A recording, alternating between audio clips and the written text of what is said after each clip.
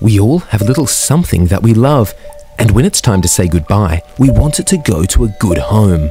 Well, there must be some people out there who know someone who knows another person that will treasure it.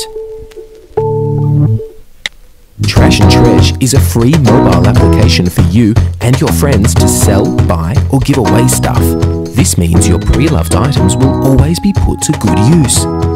One man's trash is another man's treasure, it's true.